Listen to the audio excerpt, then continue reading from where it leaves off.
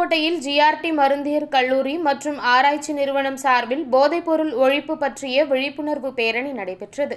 இன்றைய காலகட்டத்தில் நமது நாட்டில் போதைப்பொருளின் ஆதிக்கம் நாளுக்கு நாள் அதிகமாகி வருகிறது. போதை மருந்தின் பயன்பாடும் அதற்கு அடிமையானவர்களின் எண்ணிக்கையும் அதிகரித்து கொண்டே வருகிறது.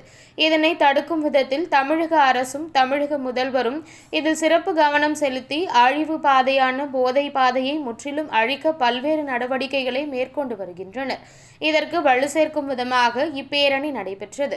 இந்த நிகழ்ச்சி ஜிஆர்டி கல்வி குழும நிறுவனங்களின் தலைவர் ஜி ராஜேந்திரன் அவர்களின் ஆசையுடன் ஜிஆர்டி கல்வி குழும நிறுவனங்களின் நிர்வாகி இயக்குனர் ஜி ஆர் ஆனந்த் பத்மநாபன் அவர்களின் வழிகாட்டுதலின்படியும் பொறுப்பாளர் டாக்டர் எஸ் ஆறுமுகம் அவர்கள் முன்னிலையில் கல்லூரியின் முதல்வர் டாக்டர் ஆர் மீனாட்சி சுந்தரம் அவர்களின் தலைமையிலும் ஜிஆர்டி கல்வி குழும நிறுவனங்களின் நிர்வாக அலுவலர் திரு கே சசிகுமார் அவர்களின் தகுந்த ஏற்பாடுகளுடனும் பேரணி நடைபெற்றது.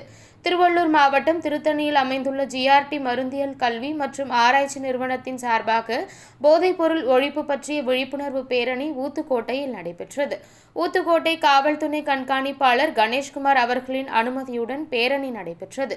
இந்த நிகழ்ச்சியில் ஊத்துக்கோட்டை காவல் ஆய்வாளர் ஏழுமலை மற்றும் மருந்தியல் ஆய்வாளர் ஹரிகிருஷ்ணன் மாணவ மாணவிகளுக்கு போதைப்பொருள் பற்றிய தீமைகளை விளக்கி எடுத்துரைத்து பின்னர் கொடியசைத்து பேரணியை துவக்கி வைத்தார்.